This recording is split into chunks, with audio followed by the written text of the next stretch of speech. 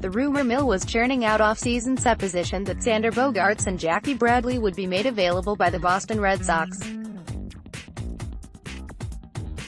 Just how legitimate the rumors were is a debatable point, but teams routinely seek to determine a value and with Bogaerts, value is complicated by free agency at the conclusion of 2019 season.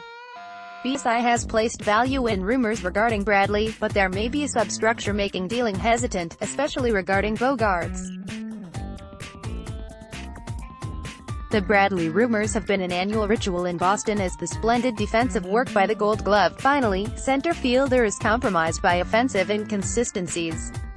Bradley, however, did accomplish an RBI onslaught in the ALCS that made JBJ the series MVP. Replacement is important and especially so for Bogaerts.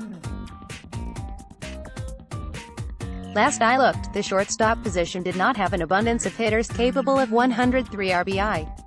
If shipped elsewhere, replacing his bat would be Sisyphus-type challenge, but defensively the Red Sox could actually upgrade with a player such as former Red Sox shortstop Jose Iglesias. And Bradley, maybe an Andrew Benintendi could slide into center field or even MVP Mookie Betts. But Bogaerts is the big kahuna. So where does Dustin Pedroia fit in? Maybe a different slant I propose. Pedroia did nothing in 2018 except cash payroll checks for $16 um. But what if Pedroia was healthy? The effervescent second baseman is a lifetime .300 hitter and a potent force in the lineup, when healthy. And health is the phrase that captures attention. A healthy Pedroia for 2018 may have encouraged the Red Sox to ship out XB, but now,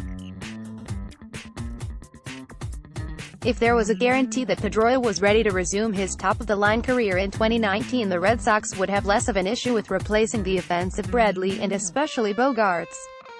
If Pedroia had put in 20 games last September with his former agility and batting prowess on display Bogaerts could very well be elsewhere.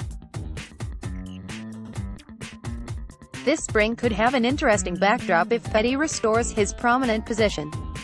Red Sox could be in the market again to move Bogaerts and or Bradley to address other needs, pitching, prospects, or catching.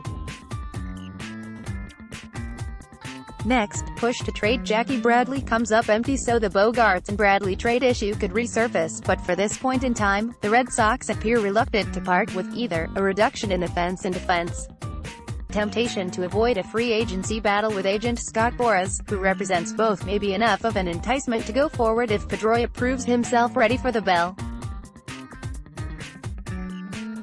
For now, Pedroia's status may have saved Bogaerts and Bradley, at least short term.